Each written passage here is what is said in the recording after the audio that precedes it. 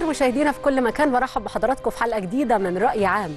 الحكومة بتستعد للحصول على ثقة البرلمان لاستكمال تنفيذ برنامجها وده وفقا للتوصيات اللي أصدرتها اللجنة الفرعية المشكلة لمناقشة برنامج الحكومة.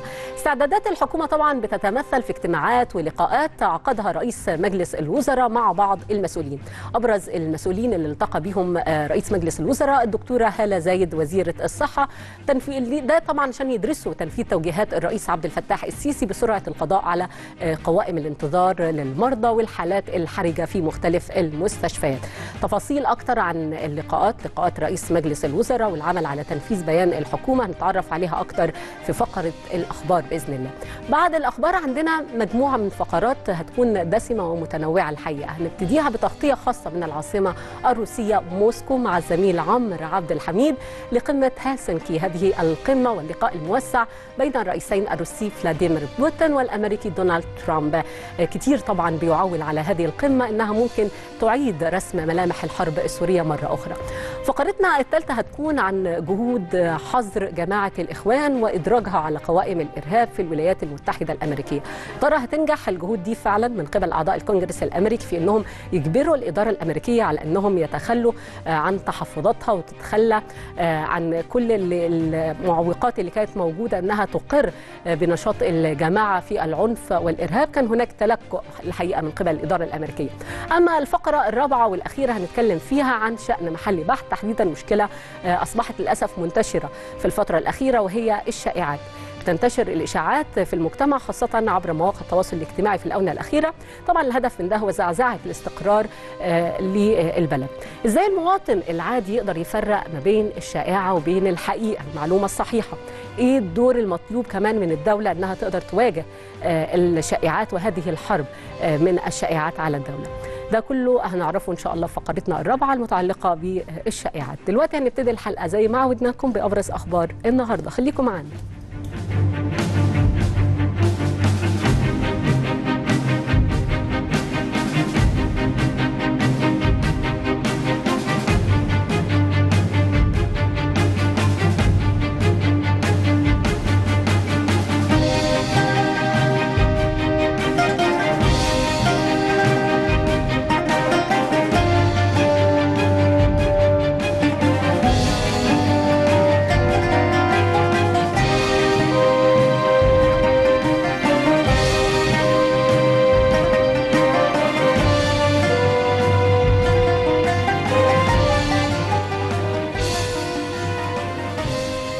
مرة ثانية برحب بيكم مجلس النواب زي ما قلنا بيستعد بكرة إن شاء الله للتصويت على منح الثقة لحكومة الدكتور مصطفى مدبولي وده طبعا بعد ما انتهت اللجنة البرلمانية المشكلة لدراسة هذا البرنامج الجديد للحكومة الجديدة واللي أوصت في تقريرها النهائي بالموافقة على برنامج الحكومة الجديد موافقة نهائية ومع التوصية كمان منحها الثقة سواء كان في تشكيلها أو فيما يختص ببرنامجها المعروض على المجلس.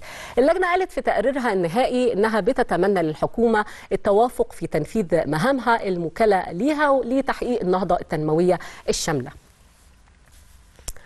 بالتزامن مع الاستعداد للحصول على ثقة البرلمان الدكتور مصطفى مدبولي رئيس مجلس الوزراء عقد النهاردة اجتماع مع أعضاء المكتب الفني والمتابعة والاتصال السياسي في مجلس الوزراء. ده كان لمتابعة خطوات تنفيذ برنامج الحكومة اللي تم تقديمه للبرلمان قبل كده. عشان كمان تدليل أي عقبات ممكن أن تواجه هذا البرنامج خلال التنفيذ. وخلال الاجتماع أكد أنه بيرفض الأسلوب الروتيني والبيروقراطي في العمل وأن المهم هو الإنجاز الإنجاز فقط. كمان عقد اجتماع آخر مع وزيرة الصحة هلا زايد ناقش خلاله تطوير منظومة الصحة وأبرز توجيهات رئيس الجمهورية بالانتهاء من قوائم الانتظار لمرضى الجراحات والتدخلات الطبية الحرجة. معنا على تليفون سعاده السفير أشرف سلطان المتحدث باسم مجلس أو المتحدث باسم الحكومة. برحب بحضرتك سعاده السفير أهلا وسهلا يا فندم. تحياتي لحضرتك وللسادة المشاهدين. أه سعاده السفير عايزين نعرف يعني أه أه الاستعدادات الآن لبدء البرنامج الحكومي في التنفيذ أهم التوصيات يا ترى اللي أقرتها اللجنة بعد دراسة هذا البرنامج اولا السيد رئيس الوزراء كان له عدد من التوصيات سواء في اجتماع مجلس الوزراء أو في مع الفريق المعاون الفريق الذي مكلف بمتابعة برنامج الحكومة في مجلس الوزراء. في مع السادة الوزراء كان التوجيه أن يكون هناك فريق عمل في كل وزارة تتولى الإشراف على هذا البرنامج وانه يكون هناك تنسيق وتواصل مستمر مع مجلس الوزراء بحيث أنه ليس فقط المتابعة ولكن أيضا محاولة الحد من أي مشاكل أو التغلب على التحديات اللي بتواجه تنفيذ البرنامج إن وجدت. من ناحية أخرى في اجتماعه اليوم مع الفريق الخاص الموجود بمجلس الوزراء كان توجيه السيد رئيس الوزراء إنه زي ما حضرتك أشرتي إنه يكون العمل بأسلوب لا يتسم بالبيروقراطية. فريق المعاون هو فريق مكون من الشباب من أفضل العناصر وبالتالي كان هناك أهمية إنه يكون في تواصل مباشر معاه وإنه يكون الحث على إن يكون العمل بأسلوب غير بيروقراطي بأسلوب نشط بأسلوب فيه الكثير من الفعالية والجهد للمتابعة وتذليل أي عقبات تطرأ خلينا نتوقف عند النقطة دي عشان نقطة مهمة سعاده السفير تحديدا. لما رئيس الوزراء يرفض الأسلوب البيروقراطي ويصرح بذلك ويقول إن أهم حاجة عندي هي الإنجاز ويتعامل بهذا النظام بنفسه ويذهب إلى الأماكن الميدانية ويتعامل مع الأشخاص اللي بينفذوا العمل بشكل مباشر بدون بيروقراطية. قد إيه ده ممكن يخدم؟ بما إن رئيس الوزراء هو قدوة فهيخلي جميع الوزراء من المفترض ينهجوا نفس هذا النهج بالتأكيد هي هي رسالة على التواصل المباشر ورسالة على ما هو المطلوب من كيفية الأداء في المؤسسات الحكومية. وبالتالي زي ما حضرتك اشرتي يعني هي رسالة إلى كل الجهاز الحكومي في مصر إنه العمل يجب أن يكون بشكل سريع بشكل يتسم بالفعالية بشكل يتجنب تماما الإجراءات البيروقراطية. وده كانت الرسالة الأساسية الموجهة لهذا الفريق. وأيضا لكل الجهاز الإداري للحكومة إنه مطلوب في الفترة القادمة تحرك بشكل مختلف آه تماما عن آه ما كان معمول به في الماضي آه البرنامج الحكومي يجب أن يتم تنفيذه بفعالية وبدقة وبشيء من يعني يكون جهد دؤوب يعني لازم يكون في إصرار على إنجاح هذا البرنامج وتنفيذه في بأحسن شكل. ده اللي بنتمناه الحقيقة جميعا. يعني إنه يتم تنفيذ البرنامج الحكومي الجديد بكل موفقيه إن شاء الله ونجاح لخدمة البلد. بشكرك سعادة السفير أشرف سلطان المتحدث باسم الحكومة على وجودك معنا لتوضيح هذا الخبر. يوم حافل النهارده بالنسبة لمجلس النواب شهد إقرار مشروعات قوانين مختلفة زي مثلا منح الأجانب المقيمين في مصر الجنسية مقابل وديعة يعني مالية تقريبا 7 ملايين جنيه على حد أقل حاجة يعني. مشروع القانون الحكومي بيقضي كمان بتعديل بعض أحكام القوانين الخاصة بدخول وإقامة الأجانب في مصر والخروج منها وقوانين منح الجنسية المصرية. المجلس وافق على اقتراح رئيس المجلس الدكتور علي عبد العال بإن ما تقلش قيمة الوديعة اللي هيحطها الأجنبي في البنك عن 7 ملايين جنيه أو ما يعادلها طبعا من العملة الأجنبية ممكن تكون دولار مثلا. ده بعد إقرار القانون اللي هيكون فيه أسئلة كتيرة طبعا حوالين القانون ده بتدور في ذهن المواطن المصري العادي وحتى المواطن الأجنبي اللي بيفكر يحصل على الجنسية ويقدم الوديعة دي.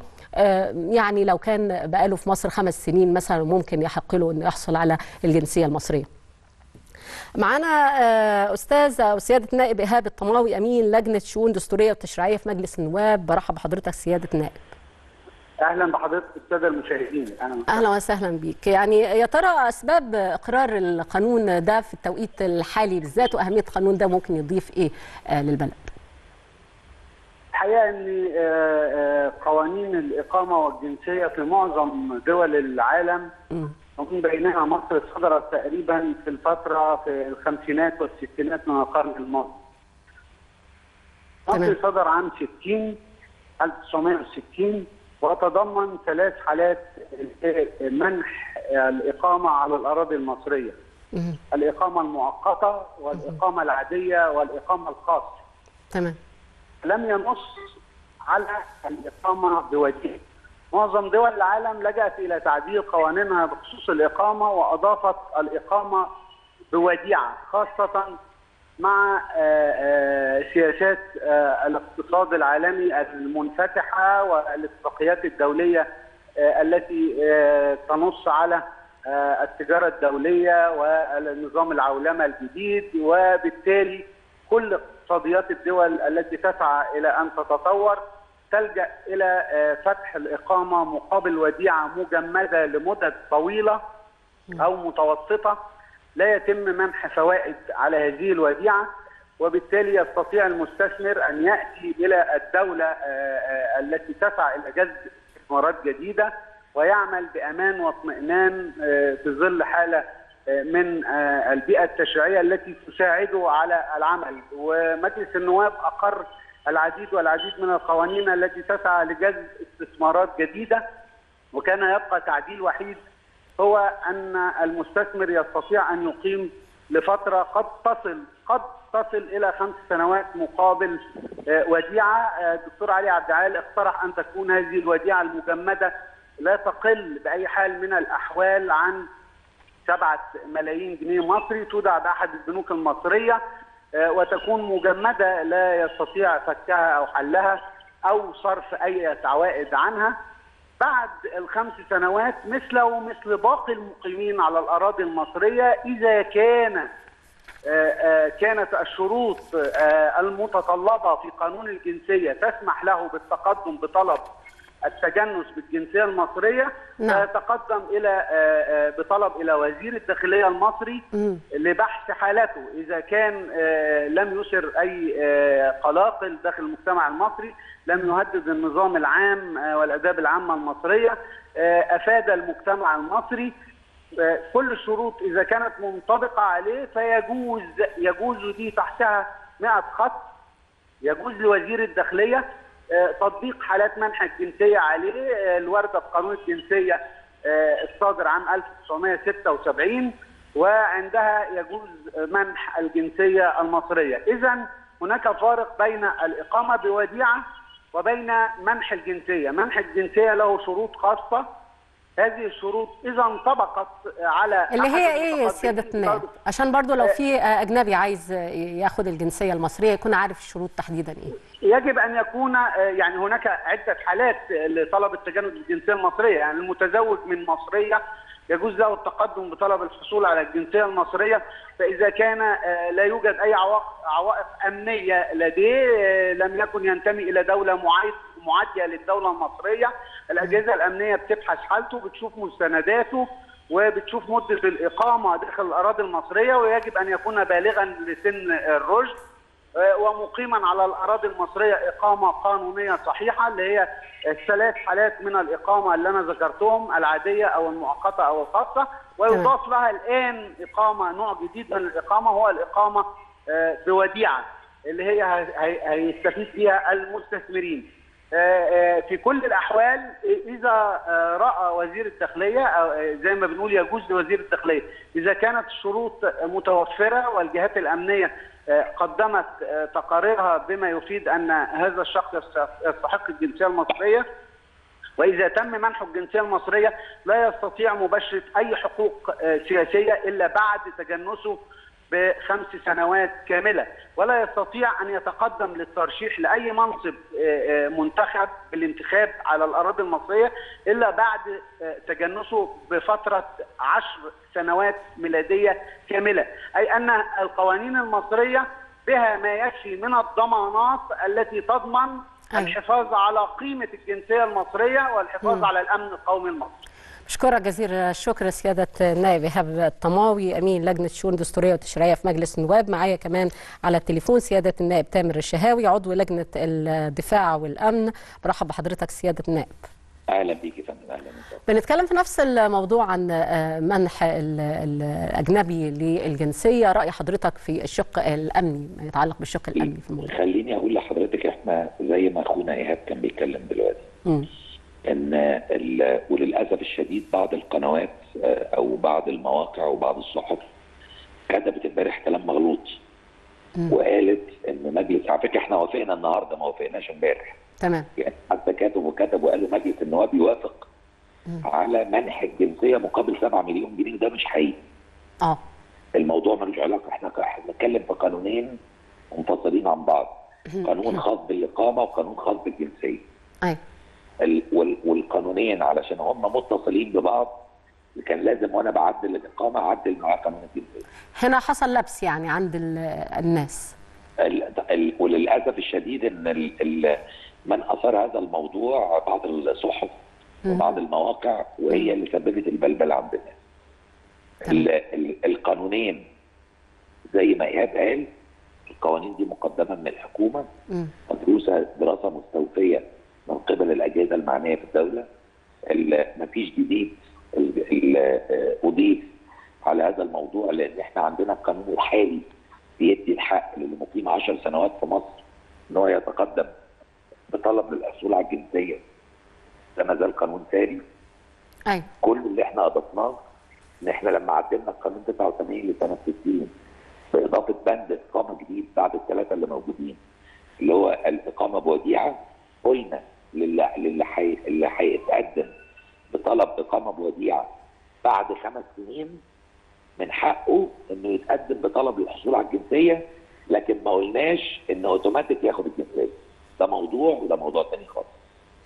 يعني في ضوابط أمنية وإجرائية وقانونية لازم يستوفيها مقدم الطلب سواء من البداية أو بعد الخمس سنوات.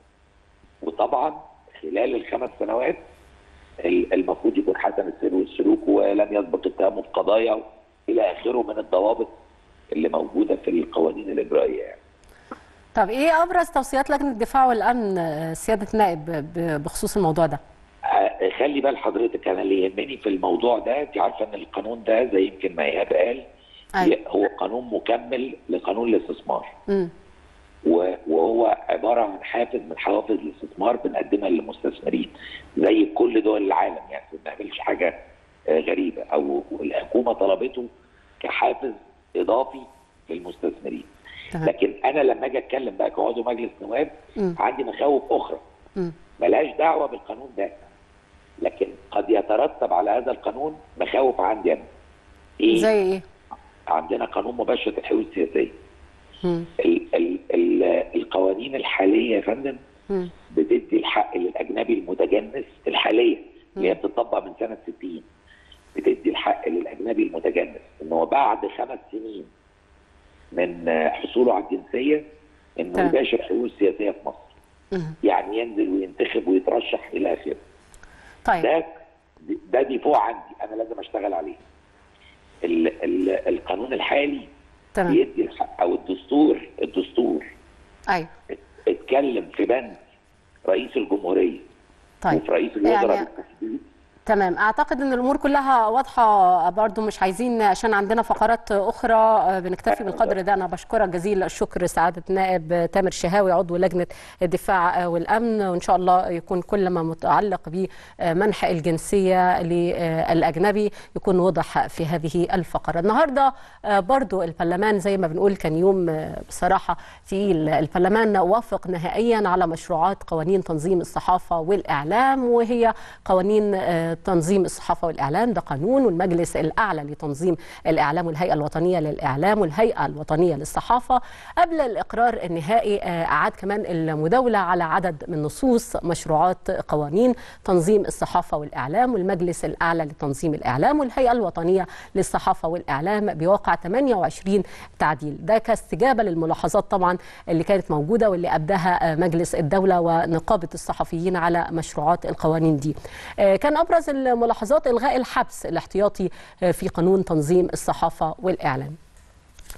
خبر آخر محافظة القاهرة كانت أصدرت كلنا فاكرين إنها كانت أصدرت في فترة ما يعني فترة قريبة قرار بإزالة بعض المباني والعقارات الواقعة في شارع 26 يوليو. ده طبعا كان ضمن خطة لتطوير منطقة مثلث مسبيرو والقرار تضمن صرف تعويضات للملاك والمستأجرين اللي موجودين في هذه المنطقة. النهارده بقى محافظة القاهرة بدأت فعلا جلسات الحوار المجتمعي مع أهالي المنطقة. المنطقة منطقة مثلث مسبيرو كمان 26 يوليو علشان يبحثوا الأزمة بين الطرفين ويحاولوا يتوصلوا لحلول بخصوصها المحافظة أكدت إن الأجهزة التنفيذية مش هتتخذ أي إجراء يضر بمصالح الناس وبالصالح العام وإذا كان العقار بيعود للتراث وله رقم توثيق فمش هيتم هدمه إلا إذا كانت حالته الإنشائية أصلا متدهورة وتطويره مش هيأثر في حاجة ومش هيكون ليه أي قيمة.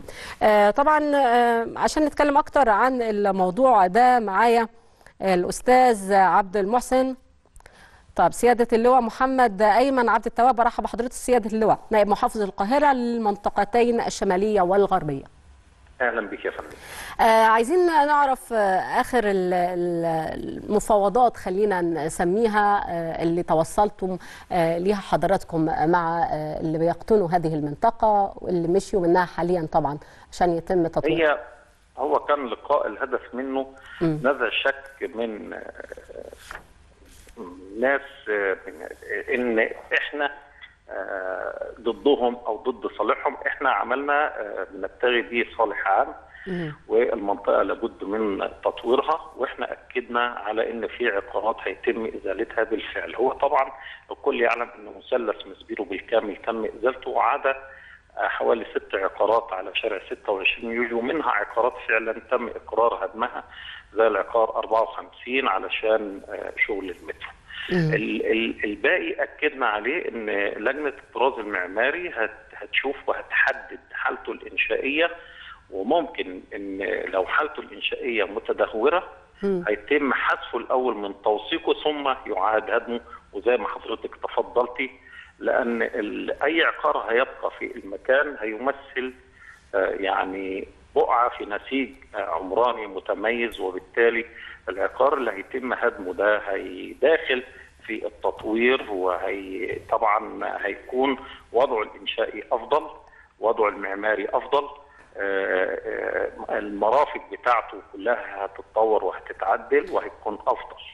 تمام. العمال اللي كانوا في المحلات التجارية اللي تم تسريحهم برضو عشان يتم التطوير هل تم تعويضهم؟ هل في آلية معينة؟ هل في أي ملاحظات كله خد حقه. كله خد حقه طبقا لما تم شرحه خلال اللقاءات المتكررة في أرض وبور الترج لما كنا بنعمل سرادقات وبنفهمهم ونبصرهم بكل الإجراءات. والحمد لله إن الحكومة كانت جادة في كل ما قالته. وأعتقد إن مثلث مسبيرو والعمل اللي إحنا قمنا بيه أعاد الثقة في الحكومة تاني لأن كل اللي, اتقال اتنفذ. أيوه. طيب أنا مشكورة جزيل الشكر سيادة اللواء محمد أيمن عبد التواب نائب محافظ القاهرة للمنطقتين الشمالية والغربية. مصر بتواصل جهودها الحقيقة في محاولة لتهدئة وتيرة الأزمة السورية ده اللي حصل فعلا النهارده بإعلان الفصائل المعارضة المسلحة التوصل إلى اتفاق لوقف إطلاق النار والمشاركة في جهود مكافحة الإرهاب وكمان العمل على التسوية السياسية للأزمة السورية وعودة اللاجئين والنازحين لمناطقهم والإفراج عن المعتقلين. بيان صادر عن قادة الفصائل المسلحة في ريف حمص الشمالي وعلى رأسها جيش التوحيد أكد التوقيع التوقيع بالفعل على اتفاق القاهرة برعاية مصر وضمانة روسيا الاتحادية ووساطة الشيخ أحمد الجربة رئيس تيار الغد السوري. كمان الاتفاق كان هدفه الانضمام إلى جهود إنشاء قوى حفظ الأمن والسلام في المنطقة بعد توقيع الاتفاق. قادة الفصائل المشاركة في اجتماعات القاهرة وجهوا الشكر لسيادة الرئيس عبد الفتاح السيسي للجهود اللي بذلها وبذلتها مصر لحل الأزمة السورية ورفع المعاناة عن أبناء الشعب السوري الجهود المصرية النهارده هي استكمال للمساعي اللي بدأت في يوليو من العام الماضي بإبرام اتفاق بين الفصائل المسلحة بالمعارضة السورية وقوات الجيش السوري لوقف إطلاق النار في منطقة في الغوطة الشرقية في دمشق. بعدها اتفاق ثاني كان في 31 من الشهر نفسه لوقف إطلاق النار في عشرات البلدات في ريف حمص الشمالي. بعدها كمان تكللت الجهود المصرية باتفاق ثالث في أكتوبر من العام الماضي لوقف إطلاق النار في منطقة القدم جنوب العاصمة السورية دمشق. مراسم تتويج فرنسا بكأس العالم شهدت الحقيقة لقطة غريبة ده بعد ما قام مرافقة الرئيس الروسي فلاديمير بوتين أحضروا لمظلة لحمايته. كان في مطر طبعا زي ما تابعنا كلنا وأحضروا لمظلة للاحتماء من هذا المطر. وتم الاهتمام بالرئيس الروسي لكن ده ما حصلش مع الرئيس الفرنسي ماكرون والرئيسة الكرواتية كوليندا جرابار. طبعا تداركوا بعد كده الموقف المرافقين وأحضروا ليهم المظلات بعد اشتداد غزارة المطر. طبعا وسائل التواصل الاجتماعي والتعليقات ما بتنتهيش لما تكون في أي حاجة بتدعو للفكاهة أو للهزار زي مثلا بعض المتابعين وكتير يعني قالوا بعض تويتات وبعض تعليقات على الموضوع. ميرام هشام قالت الوحيد اللي ما تبلش هو بوتين. آه كمان صبري قال اشمعنى بوتين اللي جابوا له شمسية؟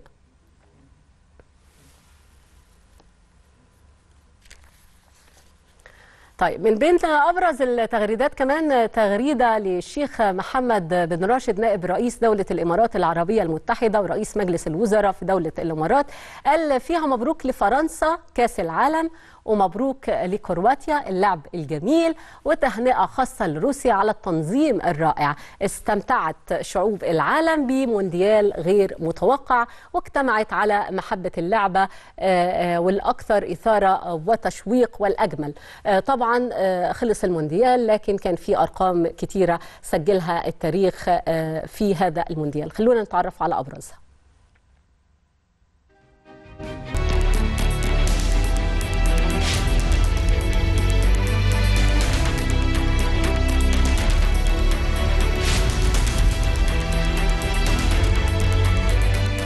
المونديال انتهى بالفعل لكن الشغف بكرة القدم لم ينتهي ولن ينتهي. بكده نكون وصلنا لفقرتنا نهاية فقرتنا الإخبارية النهاردة بعد الفاصل. أمال وتوقعات لا تنتهي منذ الإعلان عن قمة بوتين وترامب في العاصمة الفنلندية هلسنكي هل تحدد القمة فعلا؟ مستقبل الحرب في سوريا وأزمة كوريا الشمالية كما يؤكد المحللون الغربيون ولا هي قمة أخرى بتضاف فقط لسلسلة لقاءات عالمية صورية لا تنتهي. بعد الفاصل مع الزميل عمرو عبد الحميد من موسكو تغطية خاصة عن القمة.